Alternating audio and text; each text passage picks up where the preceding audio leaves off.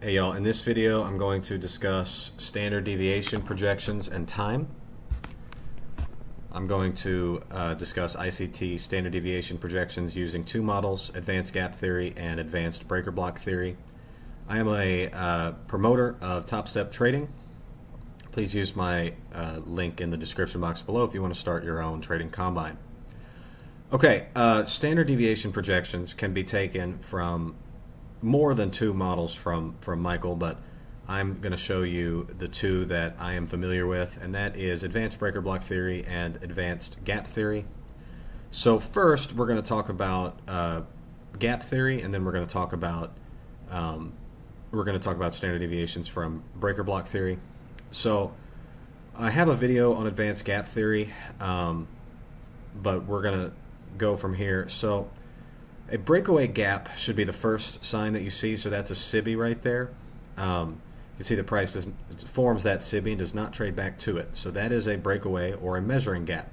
Because it's the first gap in the sequence, um, I'm going to say that that is going to be a breakaway gap.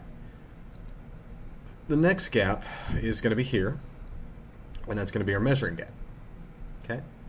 What you want to do is you want to take it from swing initiate a swing initiation and take it to the measuring gap, which should be the second gap in the sequence. And then you want to project that lower.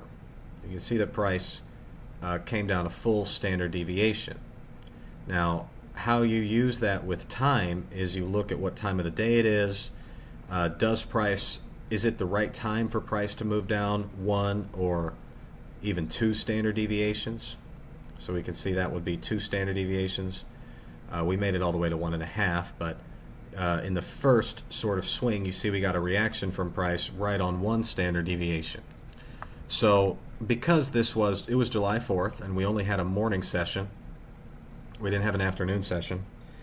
Um, we don't expect price to go too far. Now, as you know, I took losses today because uh, I wasn't entering uh, comfortably the way that I have been.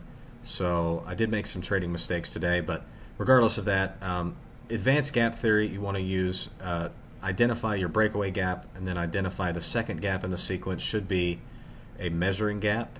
From that point, you want to take from swing initiation to the measuring gap, and then you can do the standard deviations from the top of the measuring gap or from the bottom. Okay, if you're aiming for your profit target, you actually want to you know get your profit targets filled, then I would say take it from the top here. Okay, so you can see that we did end up though. In this case, price moved down one full standard deviation before reacting using our advanced gap theory.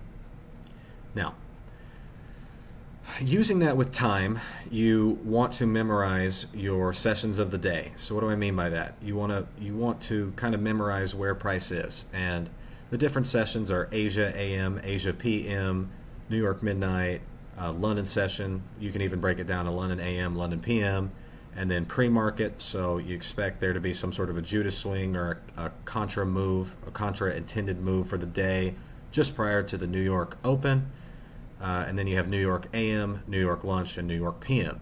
So those describe all of your uh, sessions. When you're running out of time in the trading day, you should be uh, not expecting price to make its biggest moves of the day. Generally speaking, you expect price to make its largest standard deviation moves during the New York AM session from 0930 to 1200 New York local time. It is at that time of the day, uh, and prior to that in the pre market really, that you are expecting price to make its biggest moves. The second largest move should come from 0200 to 0500, which is the London session. And sometimes, if it, there's an economic release, um, you would expect it to come around 0630 to, to 0930, and I call that New York pre-market or London PM. So if you're going to have an, a CPI, you're going to have a non-farm payrolls, uh, whatever, you would expect your largest standard deviation moves to come in the pre-market. Now, if you're if it's going to be an FOMC day, if Jerome Powell's going to speak, then you would expect your largest standard deviations to come during New York PM session. Rarely would you expect it to come overnight during the London session, so maybe you know you need to scale back your profit targets if it's 0200 to 0500. Um, kind of your like bread and butter if it's not an FOMC and it's not a non-farm payrolls, it's a normal standard trading day, you would ex generally expect it to come during the New York AM session. So, there's a little bit of that. Um, if it's a Friday and prices needs to quickly reprice to get to liquidity targets, you might expect it to come in the pre-market. So we talked about, I think I've mentioned or Michael's mentioned the uh, the repricing algorithm. So those are some of the factors that, that you should use with this in terms of your timing. Now, your advanced gap theory standard deviations should align with uh, another target. Like you can see that we had sell side liquidity here. So it was reasonable for price to come down one standard deviation and make it to sell side liquidity here before reacting, which is exactly what price did. So sh it should align with um, another price-based target like liquidity or inefficiency. Okay, second, uh, second standard deviation model is going to be advanced breaker block theory, and that uh, I'm going to show you that now. So we can use our advanced gap theory for standard deviations, and we can also use breaker block theory. So let's get down to a one minute time frame here, and I'm going to show you a bearish breaker block. A bearish breaker block is a high, a low, and then a higher high. That higher high should ideally push into higher time frame liquidity. Okay, it's a high, it's a low, and it's a higher high. This is point A to point B. Okay, right there. Now, you can take these standard deviations as low as you want. Uh, the same thing as you want to, uh, let's see, negative 2, negative 5. Okay, I think we got a pretty clean reaction there. Now, breaker block theory, so we take it from point A to point B. We have a high, a low, a higher high. Price comes back into the bearish breaker and then moves lower. Back to a five minute chart. Um, you can see the price, it confirms that it came down five standard deviations from the bearish breaker. It came down one standard deviation from advanced gap theory.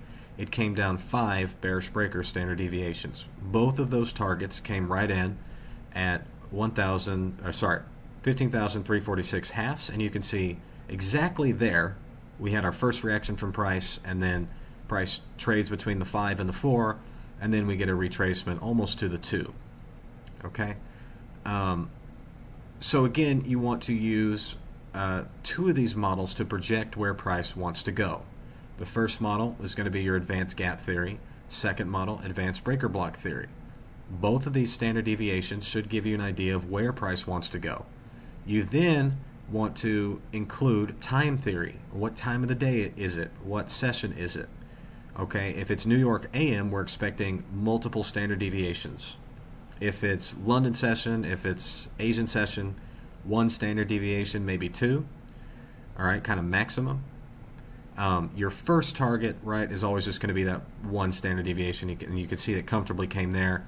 But if it's New York AM, that's kind of a very, very conservative target. If it's New York AM, um, but if it's you know Asian session, resettlement, whatever, it's New York midnight. You're not expecting price to move that much, so uh, you wouldn't expect it to fill out the full standard deviations. Now, looking into the future, we can see that we had a breaker block here. Why? Because we had a low, we had a high, we had a lower low. Now, did this low that we had at the very end of the day today, did it come into sell side liquidity? Not quite, a little bit. It swept sell side liquidity. So that is a bullish breaker. Using our standard deviation projections, go to a little bit of a higher time frame we can see that our standard deviations take us to buy side liquidity, inefficiency at the two, that's a wick inefficiency, and then again with buy side liquidity at the third standard deviation. Now, I would not expect price to go up three standard deviations right on right after resettlement today. I would expect us maybe to get to there's a couple other points that you can use and that's a quarter and a half standard deviation. Okay, using our breaker block. And that would take us right back to where we were during uh, the New York AM session today. Okay, quarter standard deviation and a half standard deviation.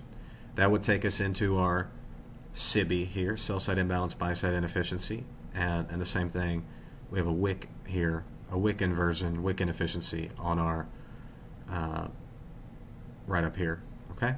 So that is how you use standard deviation projections using two models, advanced gap theory and breaker block theory. They might not both be there at the same time. Sometimes they will, sometimes they won't. That's how you are going to project where price should want to go. It should confirm a liquidity target or it should confirm an inefficiency target. And then if you combine that with what time of the day it is, you know, kind of broad strokes, like what, what sort of movement would you expect from this time of the day, given is there a news driver, is there not a news driver, is this Friday, uh, et cetera, et cetera. That's kind of giving you an idea of how many standard deviations you think it, it is likely to move uh, at this time. So, wanted to just get that uh, get that out there. That's for my own learning. I know that I went very quickly. I am going to link all the model videos from ICT in the description box below. I hope that you enjoyed uh, this video recording on standard deviation projections using advanced gap theory and advanced breaker block theory, along with uh, time theory. Okay, so in the description box below is going to be sorry, not in the description. In the comment comment section below, I'm going to link all of the videos from ICT that explain this stuff. Um, please use my Top Step affiliate. Go get sign up for Combine, all that good stuff. Bye.